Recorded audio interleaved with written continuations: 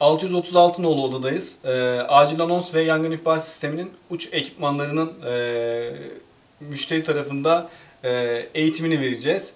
E, buradaki bulunan ekipmanlarımız oda girişinde bir adet acil anons hoparlörümüz mevcut. E, yalnızca acil anons zamanında çalışacak olan bu hoparlör e, başka bir fonksiyonu olmayacaktır. E, odanın içerisinde de dedektörümüz mevcut. Dedektör normal fonksiyonunu yerine getirirken e, belli aralıklarla yeşil e, çakarak ara ara flash yapıyor.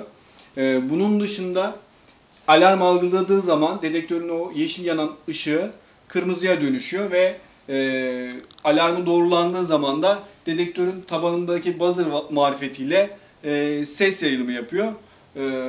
Bu sü- 30 saniyeden uzun sürerse de mevcut senaryoyu devreye sokuyor. Mevcut senaryo, senaryo ile beraber de hoparlörden girişte bulunan hoparlörden acil anons yayını yapılarak müşterinin e, odaya güvenli bir şekilde tahliyesi sağlanıyor. E, bu konuda verilebilecek bilgiler bu kadardır. Daha geniş ve kapsamlı bilgi e, senaryo ile beraber değerlendirilerek tekrardan verilecektir.